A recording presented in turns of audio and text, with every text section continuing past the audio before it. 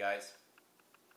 So recently I bought a replacement screen for my 2DS because my original screen shattered and there are uh, there are a lot of 2DS screens showing up now on eBay, um, DHgate online, other places.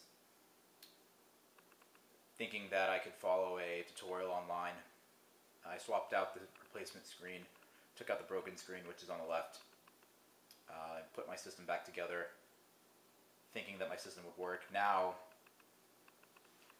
my system powers on, but I still get uh, the black screen. No cracks, no indication of cracks, but there are some weird lines which I'll show you when I power on. I just was wondering if the Nintendo community had seen anything like that before. And sometimes it'll randomly shut off like that as well, so can see you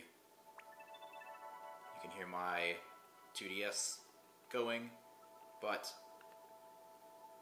and there's no indication of cracks, but there is this very faint but um, consistent line of light uh, from the screen appearing on my appearing on my screen. So, uh, if anyone's run into this issue, um, I'd appreciate if you could comment in the section below the video and uh, let us know how you fixed it.